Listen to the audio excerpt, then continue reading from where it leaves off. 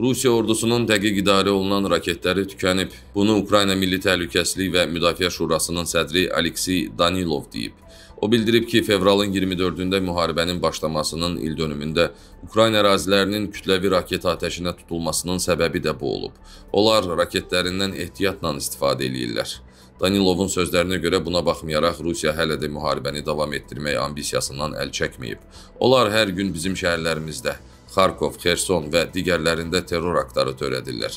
Qeyd edək ki, Rusiya ilə Ukrayna arasında geniş miqyaslı müharibə ötən ilin fevralın 24-də başlayıb.